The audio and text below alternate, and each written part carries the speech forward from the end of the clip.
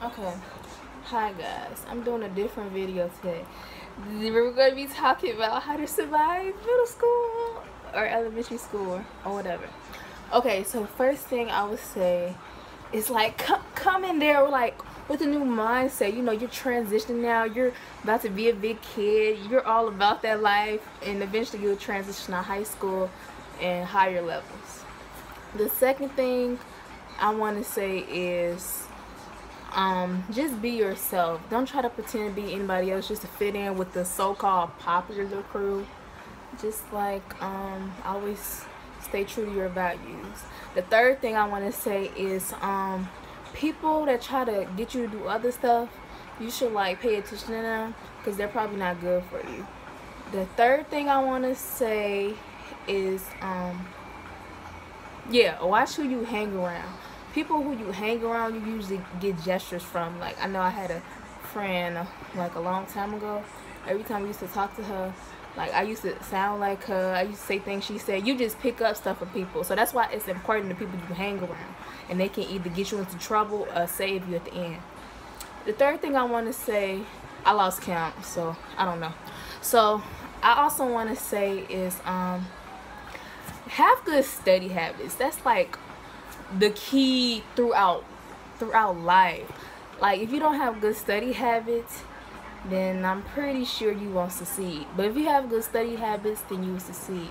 Also, I think that ties into that is um like try not to cheat like that or at all because like once you get to cheating you don't want to do work for yourself so therefore if you get to taking shortcuts you would never want to do the real thing so you're stopping yourself from learning in a way. Because you're like oh man i'm taking the easy way route. But the easy way may make you fail or make you just get an okay grade. And when like other schools look at that they like oh she always, she always took the easy way route. She always took the easy way.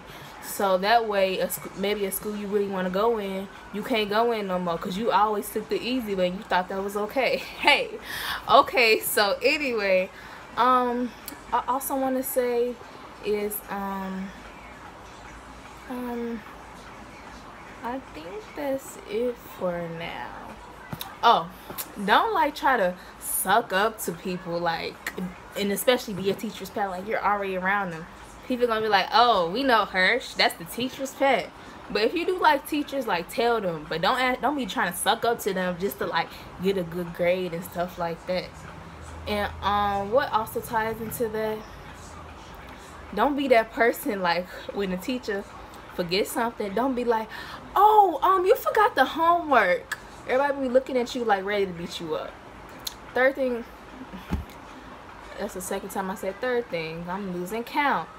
Um, I also want to say, try not to get yourself into like the wrong situations at the wrong time because you can get jumped instantly. And if you a minority, bless your heart. But yeah, like if you feel like you should not be at a certain place, then don't do it.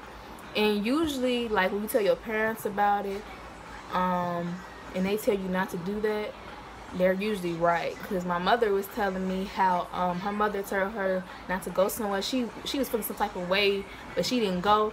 And, and the people who went end up getting killed. Like that's some deep stuff right there also I wanted to say is um like talk to people about things. Like it's other people that's going going transitioning transitioning into middle school or elementary school. So just have a voice so you can get your feelings heard. And then you can talk to your parents about it. And like also I want to say I don't know if I sound hypocritical right now so I don't know sure I say it or not but um like try not to be that person that mean person. Like you walking in, somebody just like, ugh. You like, what did I do? Try not to be that person. Just try to be like, kind of, I won't say go with the flow, but just you know, feeling your way out. You should just try to have fun. And uh, I think that's it for now.